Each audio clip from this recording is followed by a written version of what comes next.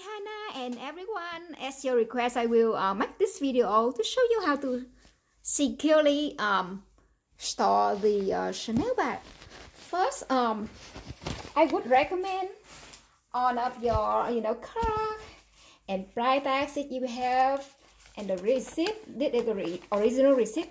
So let's say if you have the better receipt, you know, you should make a copy of it because, you know, Neiman Marcus receipt actually fail during the time, so it's pretty blurry. But anyway, um, we're going to put everything in one ziplock and uh, zip it so we don't lose it and uh, the way to keep it all together is to you know because this this one is the new medium size so it has the, the zipper inside so we just put everything in here but in case if you don't have uh, you know the zipper in here I don't recommend that you put everything in this one but probably you should put in the original part of the Chanel bag.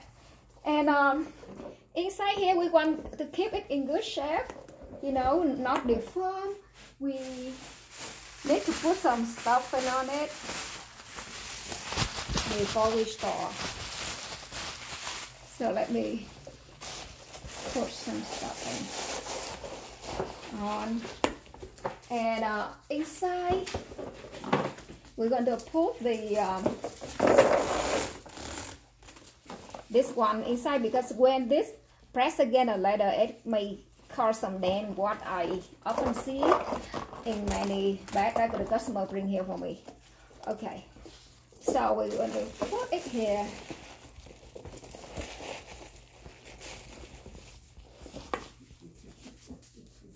we're going to put right there and then we close it. And this part make sure you put right there. If we go to the bottom and we're going to put it in the dust bag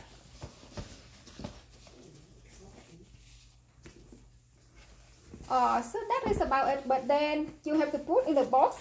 In the box I will recommend put more you know my more wrapping around the bag so um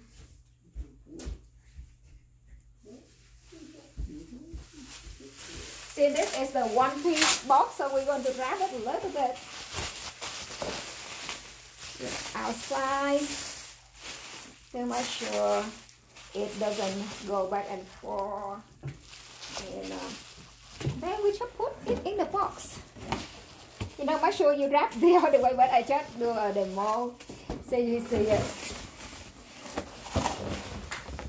Okay we close it now. We have it securely stored here. Thank you for watching